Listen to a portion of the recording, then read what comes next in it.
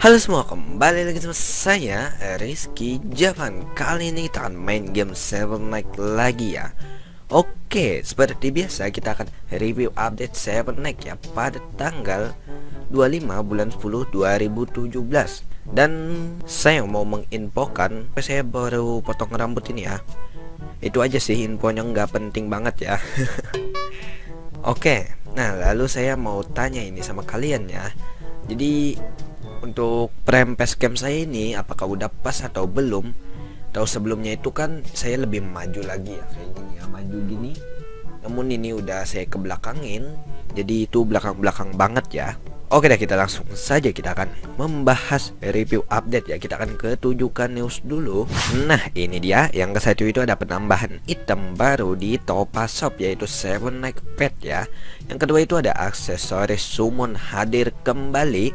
Yang ketiga itu ada kostum eksklusif baru. Yang kelima itu ada Guild War Bennett Hero. Oke coy Oke, di sini ada Topaz Shop yaitu ada 7 Neck Pet Selector bintang 4 yang kalian bisa beli dengan 500 topaz. Pertanyaannya, apakah ini worth it untuk dibeli? Ya, bagi kalian itu pecinta pet atau binatang ya, silahkan beli saja. Beli sesuai pet yang kalian inginkan ya, jangan pet yang tidak kalian inginkan. Oke, lanjut.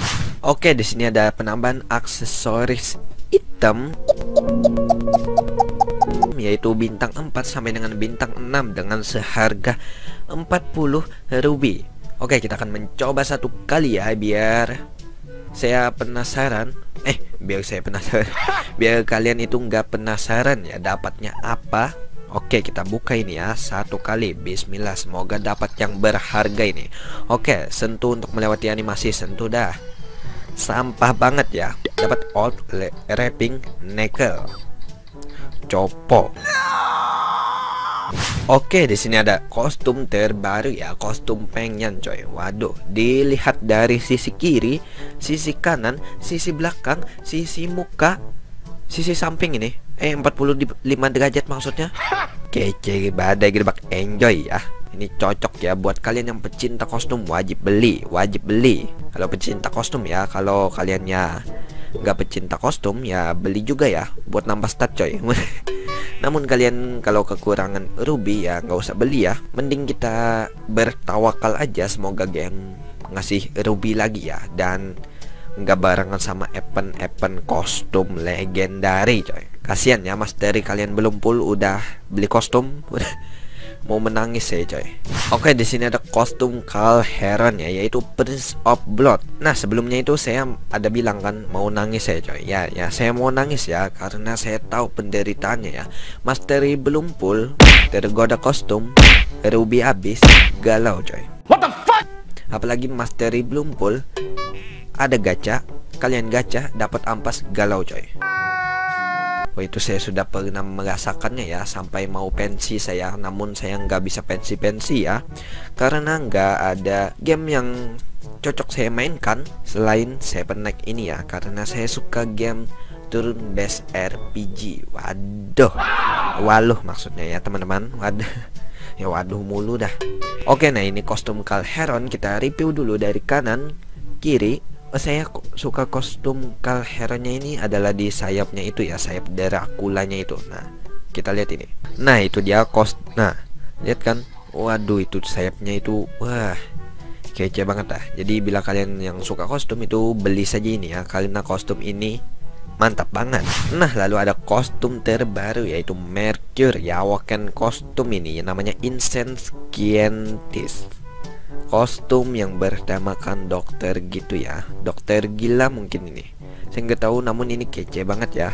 Tapi ya ruby saya itu 175 jadi nggak bisa ngapa-ngapain. Jadi kita bisa bertawakal saja teman-teman. Jadi ya bodo amat ya. Mau kostum atau apa ya ruby nggak ada. Mau gimana lagi dah. Oke nah teman-teman, jadi saya ada tips ya buat kalian yang suka kostum kos suka kostum ya mau beli kostum itu kalau kalian bisa itu beli kostumnya jangan oh ini kostumnya update ya wah saya mau beli nih langsung auto login, auto boy. Wah, dibeli semua dah. Ruby habis coy.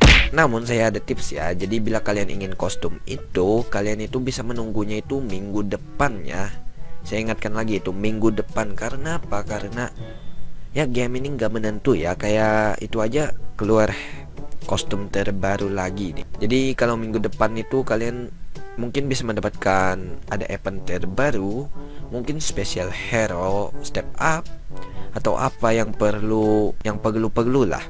Jadi kalau kalian mau beli kostum itu tunggu minggu depan saja, saya sarankan itu ya. Namun jangan nunggu minggu depannya lagi itu pasti habis ya kostumnya. Kalian menyesal pasti itu. kalau kalian pencinta kostumnya, kalau saya sih enggak ya. Kalau aku sih yes. Oke guys, Indonesia. Oke itu tadi ya teman-teman. Kita review update ya. BTW jika kalian orang Banjarmasin jangan lupa untuk mampir ke toko saya. Bukan toko melainkan warung saya yang namanya Coco Wall coy. Wah kemarin itu ada ada yang datang ya ke Coco Wall coy. Wah itu masih banyak ya udah datang ke Coco Wall Nanti datang lagi ya beli lagi Oke deh teman-teman, jika kalian suka video ini jangan lupa klik like, share, komen, dan subscribe tentunya. Dan jangan lupa juga untuk follow Instagram saya, linknya ada di deskripsi. Atau kalian bisa lihat di kiri saya ini ya, kiri ini. Oke, bye-bye